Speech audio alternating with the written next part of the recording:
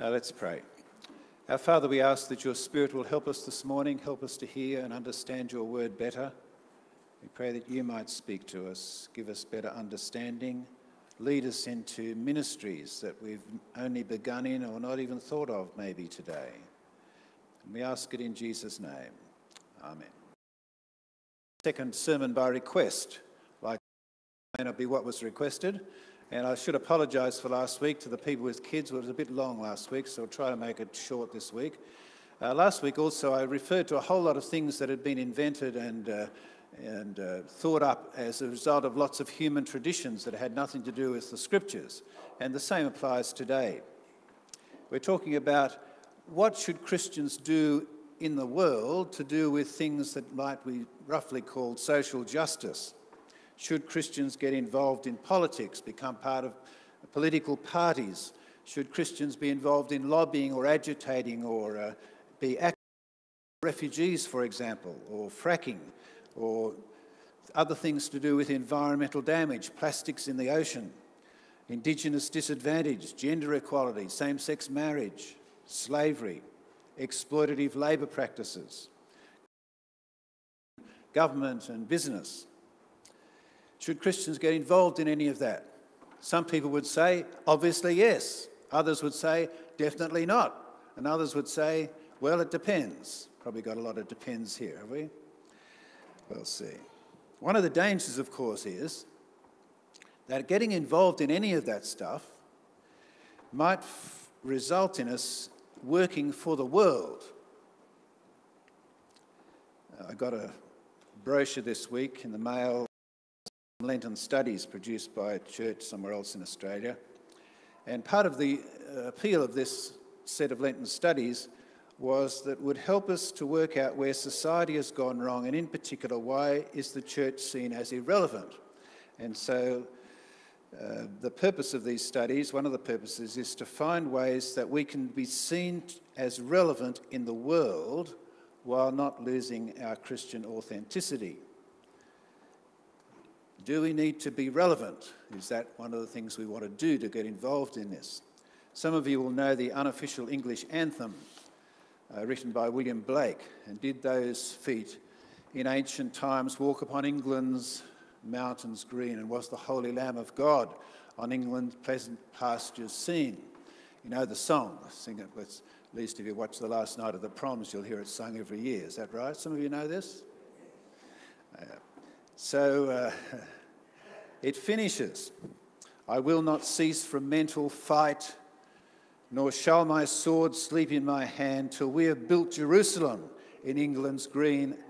Now, William Blake, writing in 1810, 30 years after the 20 years after the French Revolution, after the Napoleonic Wars, did he really think that the answer to his questions was yes? I think he probably thought the answer was no. Not only did the feet never work in England, but whether they had any chance of building Jerusalem in England's green and sunny land, uh, they probably had Buckleys. Well, that's for the poets and the historians to debate, I suppose. But that's part of the issue for us. Do we want to build Jerusalem? Do we want to build a Christian society? Do we want to get involved in this stuff for that kind of reason? Now, one of our other difficulties, of course, is that we live at the moment in a society that's got so much media coverage that there's huge amounts of social pressure, uh, popular opinions, opinion polls about almost every, anything, quite aggressive activism, a lot of anger, a lot of self righteousness from the people who speak out on whatever the topic might be, and a lot of bullying. So, not only is the tone of the debate, debate changed, but uh, the, the, way it's, the, the, the kind of background for it has changed as well.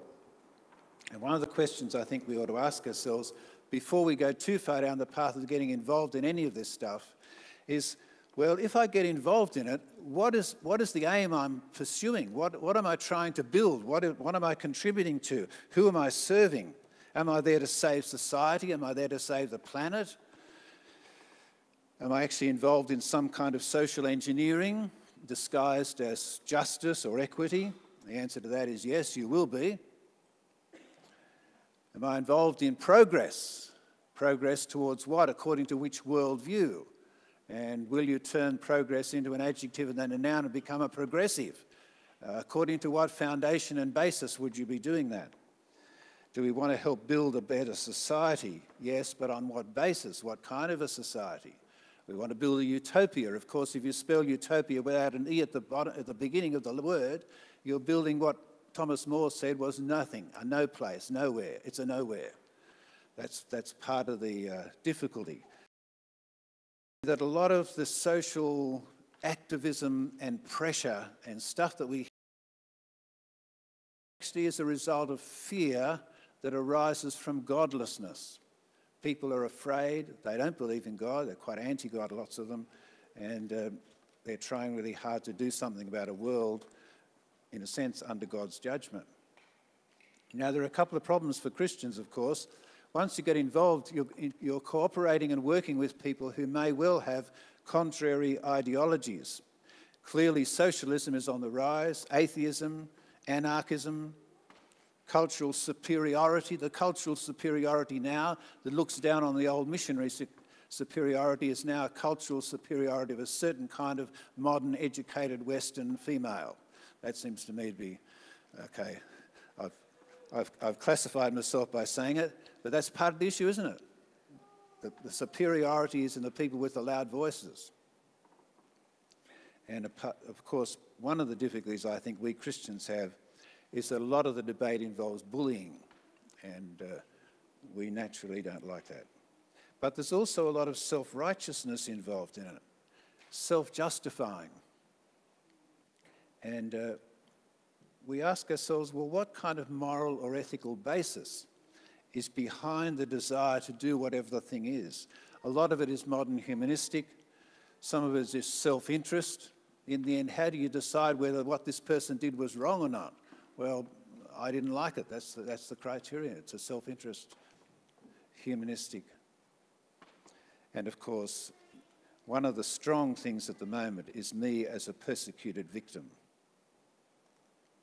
But of course, could Christians do the same stuff, but from different motives and different reasons? So let's come to Christians who belong to the kingdom, the kingdom of God. On what basis might we get involved in any of these issues? Christian reasons and motives? Well, we might want to establish a Christian society. Some of us might want to go back to the mythological Christian society of the 1950s. Others, of course, don't want to get involved at all. Retreat, we want to have no action. The world is under judgment, let's preach the gospel and leave, leave the others to sort out their mess. I want to suggest to you there are other ways of looking at this. we ought to see ourselves in the first place as citizens. Erastus. Erastus is mentioned at the end of Romans. He's, the, he's either the chief financial officer of Corinth or he's the director of public works of Corinth. It depends which translation you read, but he's obviously a senior public servant in Corinth. And there are lots of Christians who are public servants, senior and down the rungs and wherever else. Presumably, Erastus and all the others ought to be operating within their job description with Christian ethics and Christian principles.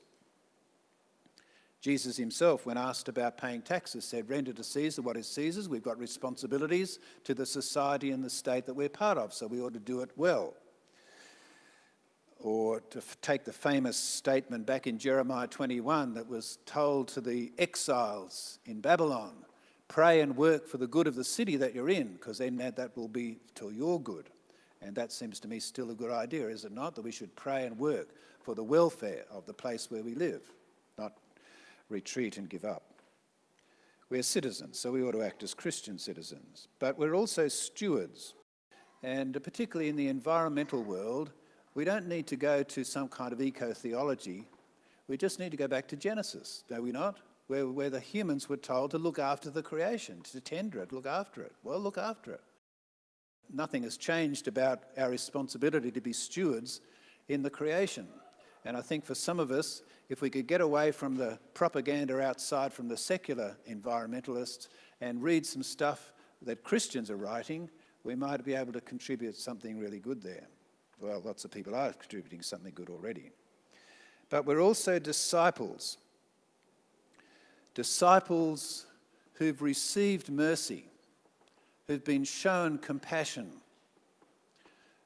We read in Deuteronomy, and this is uh, repeated quite a few times in those books Exodus, Deuteronomy, Numbers. You were, you were foreigners, you were strangers in Egypt, and the Lord brought you out. So now you've got to love the strangers and the foreigners and the refugees who live among you now. It's very clear and it's repeated more than once in the Old Testament times. You used to be like that. Now, lots of us weren't, in that sense, refugees, but we are strangers. We are foreigners because this world we live in is not our, this is not our home country. We're waiting, like Abraham, for a city whose foundations are eternal, whose builder and maker is God. We are sojourners and strangers and in transit here. We're expatriates, if you like. And so we ought to look with eyes of all the others who, in human terms, are expatriates and foreigners and refugees and strangers. Because God has shown mercy to us. God has given us mercy, we ought to show mercy. As for our enemies, we ought to act like God. So, Romans 12, Sermon on the Mount, Matthew 5, God makes his rain shine on the just and the unjust alike. So, what do you do with your enemies? Well, he says, love them and feed them. That's Romans 12. Love and feed and pray for your enemies. Do good to them. And, uh, well, I don't need to underline it, but I'll mention it. Uh, widows and orphans, they get mentioned all the way through the Bible, right through to James. Look after the orphans and the orphans and the widows. Now, underneath all of this is what I was saying to the children. This is compassion. This is God's compassion and love to us, which we share and give to other people. But in order to have compassion, you have to have knowledge. And so the thing, big thing in the news this weekend regarding compassion has been Akubra Dolly, little Dolly Everett, who took a life this last week from being bullied, apparently. Now, lots of us know people who are being bullied, young people know who are being bullied. Uh, is there something that Christians can do about that? It seems to be in a sense, bullying was always, on the, on, always there, wasn't it? I remember when I was about, I don't know, 10, bullying had to do with being punched up in the playground. But bullying is much more uh, sophisticated than that now. Might include that. But to know about it is one thing, to have compassion is another, but you can't have the compassion unless you know. School, work, and as I said at the beginning of this little talk, just in our social debates, there's so much bullying, so much violence, so much aggression, is there not? This, this is, a, in a sense, a not, not a surprising development in a society that has abandoned God. But it's there at all levels.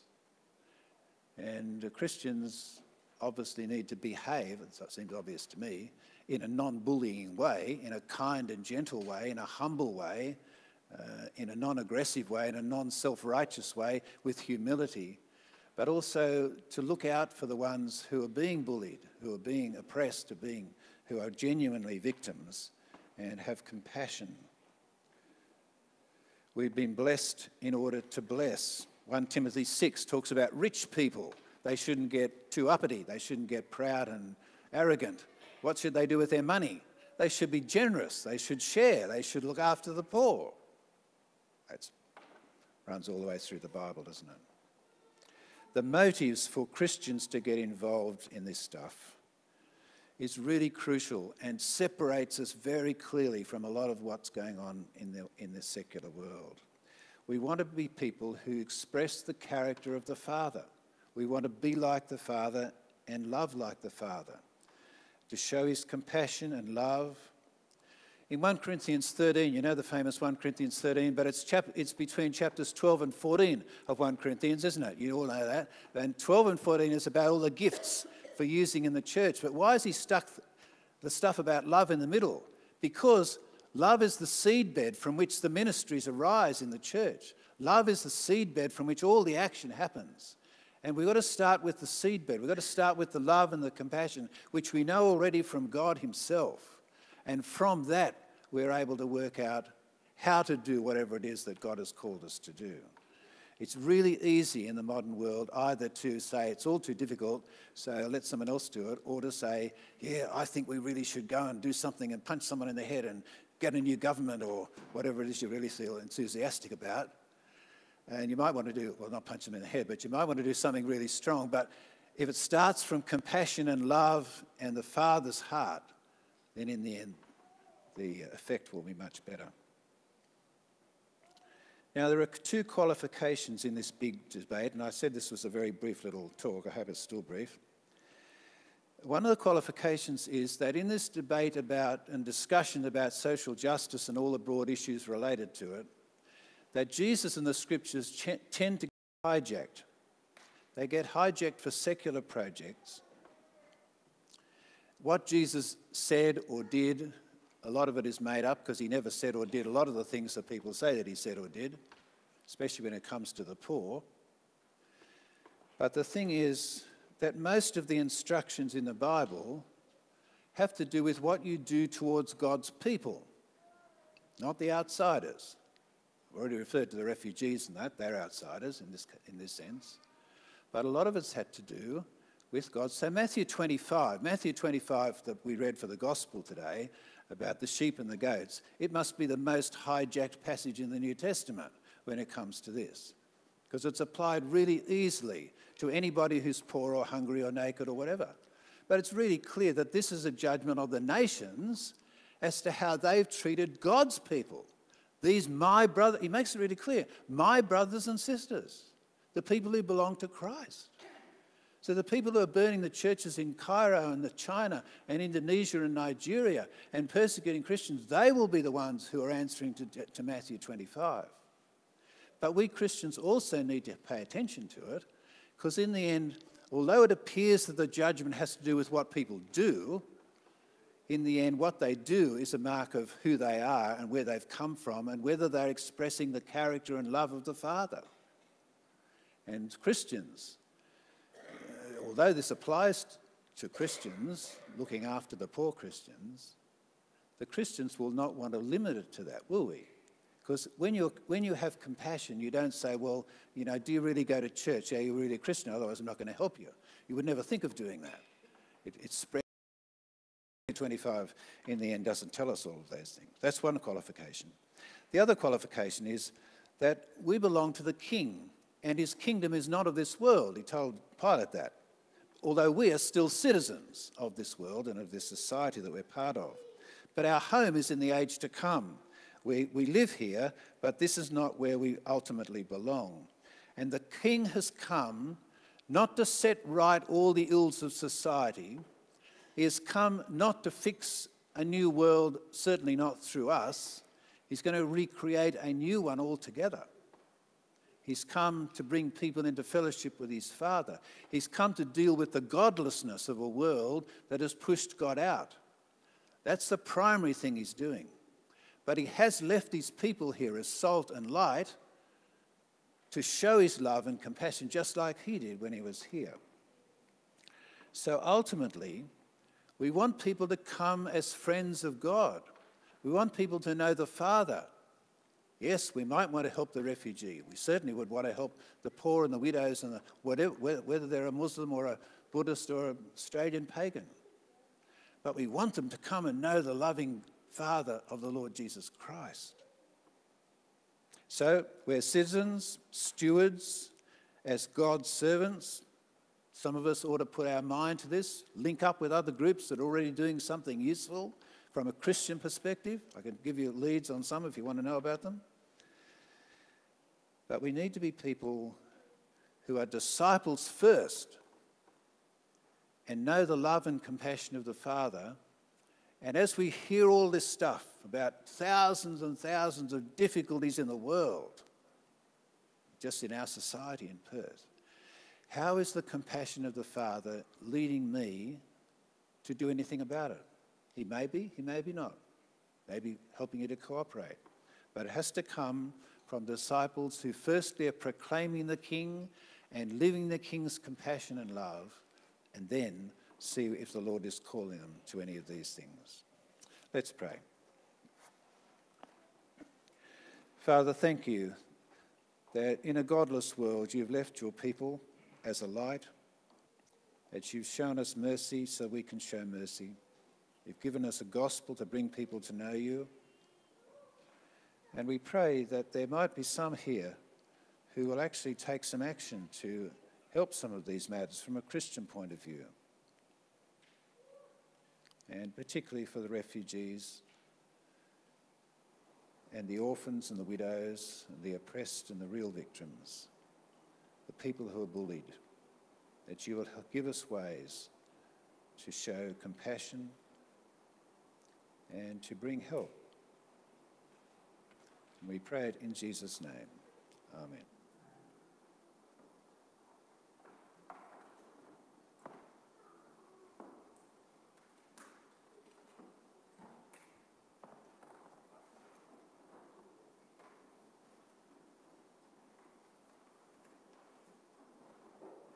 Stand as we declare our faith in Do you believe? I believe in God the Father Almighty, creator of heaven and earth, and his Son Jesus Christ. I believe in Jesus Christ,